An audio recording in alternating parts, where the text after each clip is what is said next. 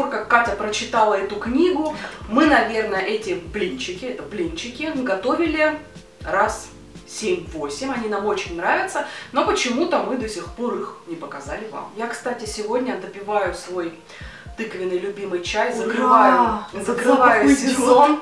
Вообще я этот чай покупаю именно только вот где-то в ноябре месяце, чтобы перед Новым годом Создавать наслаждаться, настроение. да, и создавать себе настроение. Вот сегодня у меня ушел последний пакетик, и мне немножко от этого даже грустно стало. Ну ладно, Катя, давай нам расскажи, что за блины.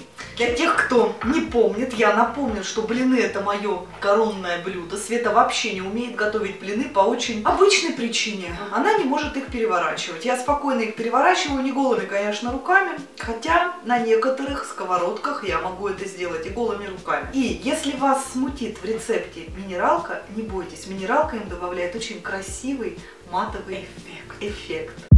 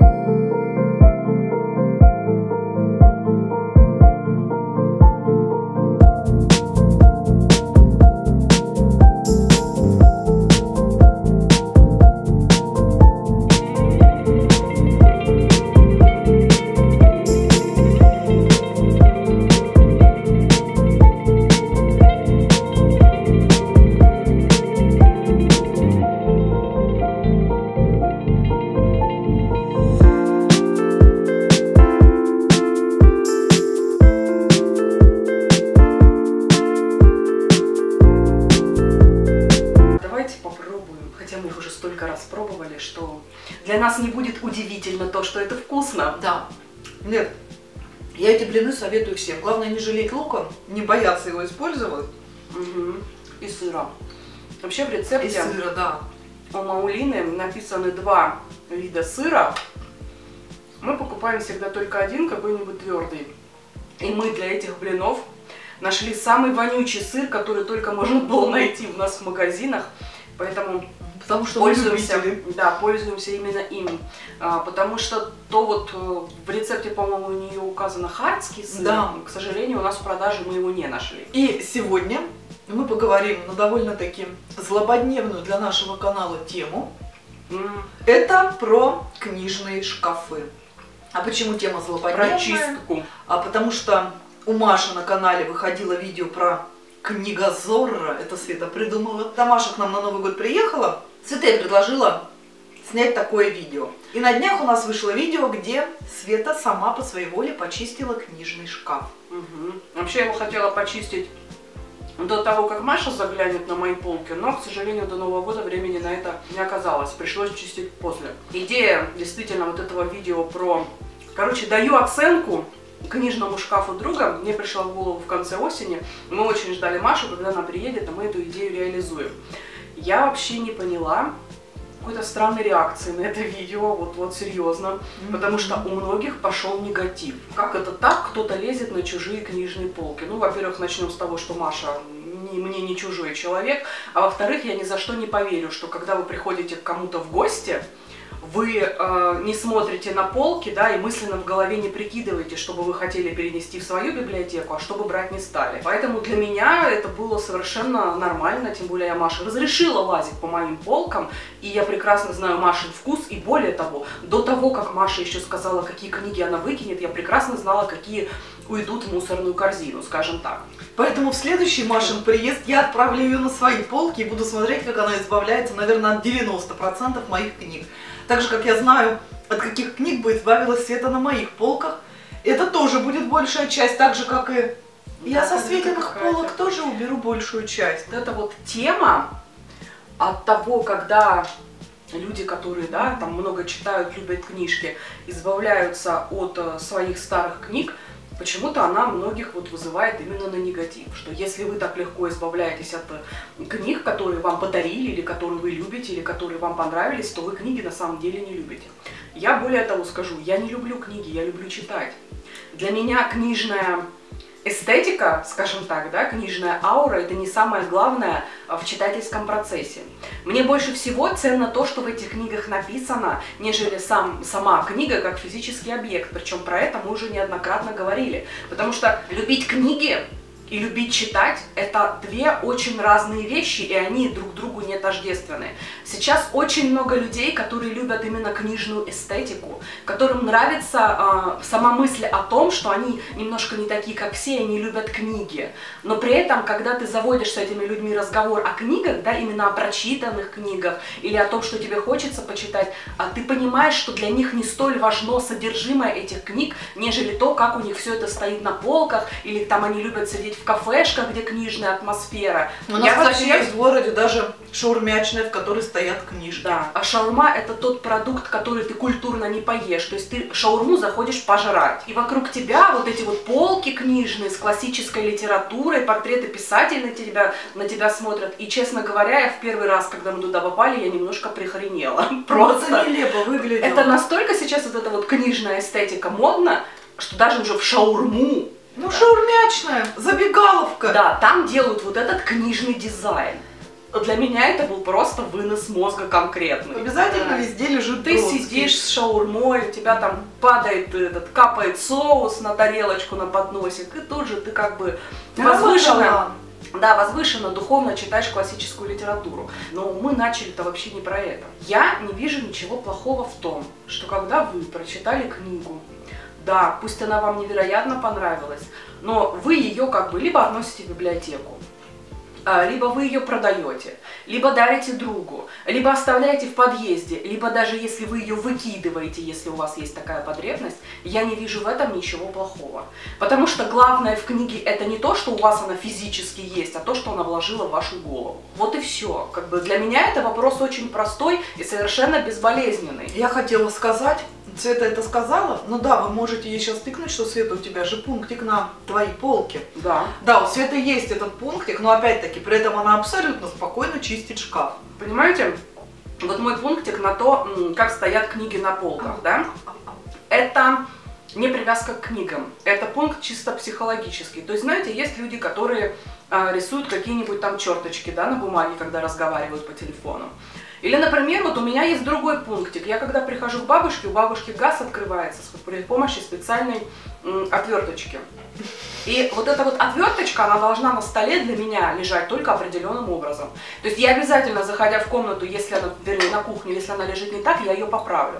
Вот то же самое у меня с книжными полками. Это психологический вот а, момент. То есть это не потому, что, о боже, мои прекрасные книжки стоят не в том порядке, а, в котором они должны стоять. Нет, меня просто раздражает, когда у меня вот цепляется глаз, и я вижу, что вот это мне не нравится. У меня такой пунктик, наверное, на моем рабочем столе. У меня все там лежит вот чуть ли не по линеечке.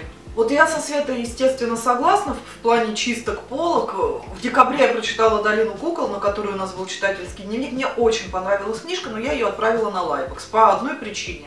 Мгм. Я не буду ее перечитывать, пусть эта книжка достанется еще кому-то. И мне не надо ее хранить на своих полках. На моих полках в итоге остаются книги, которые мне там дороги как память.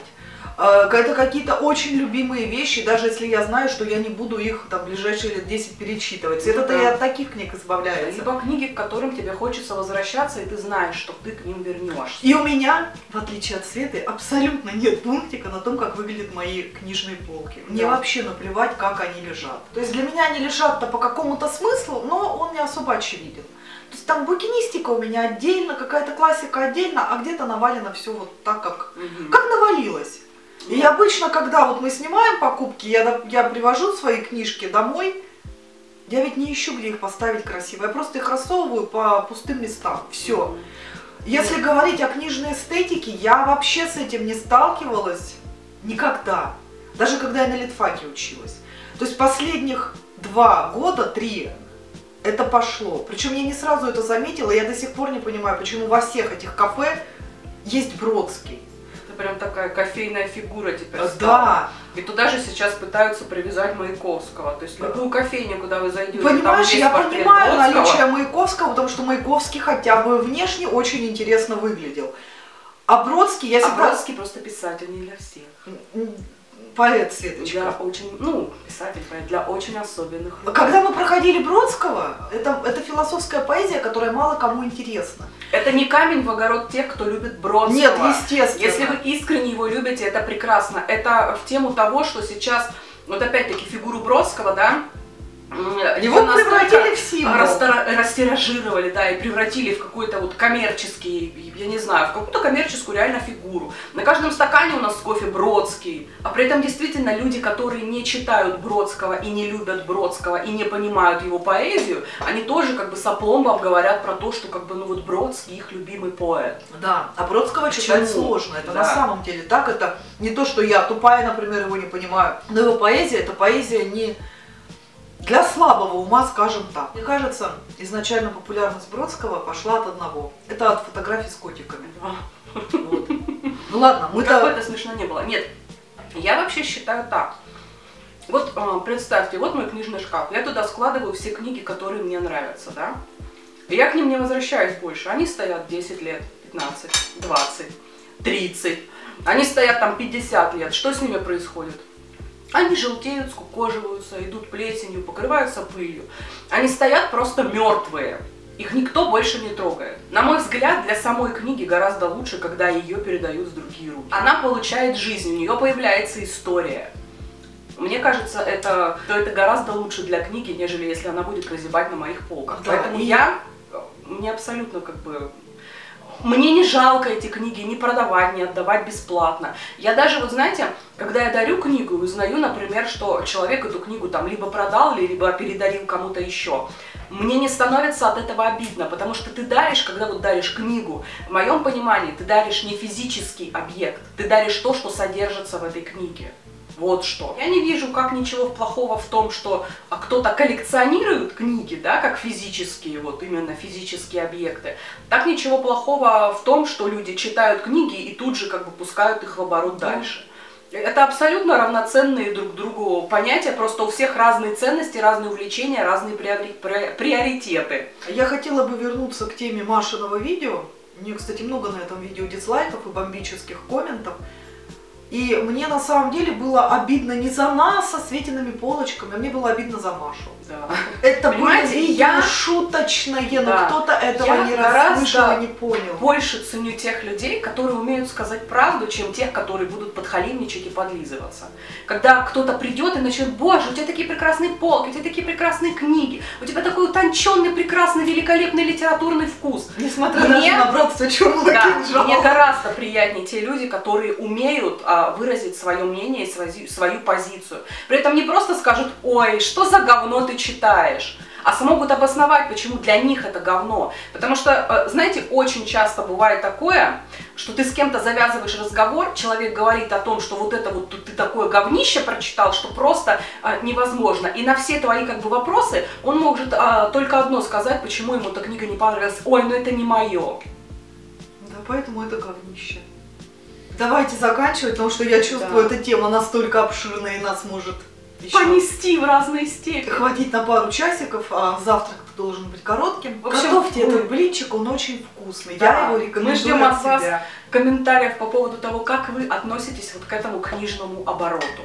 То есть, э, есть ли для вас какое-то препятствие избавиться от книг вот из своей библиотеки? От тех именно, я не говорю от дорогих и любимых, да, именно от тех, которые, да, вам понравились, но вы знаете, что вы больше эту книгу не возьмете в руки. Будете ли вы держать ее у себя на полке или все-таки дадите ей шанс а на то, что где-то в других чужих руках она станет любимой? На этом давайте все-таки заканчивать. Всем спасибо за внимание, хорошего вам дня и приятного аппетита. Котики, читаем с любовью.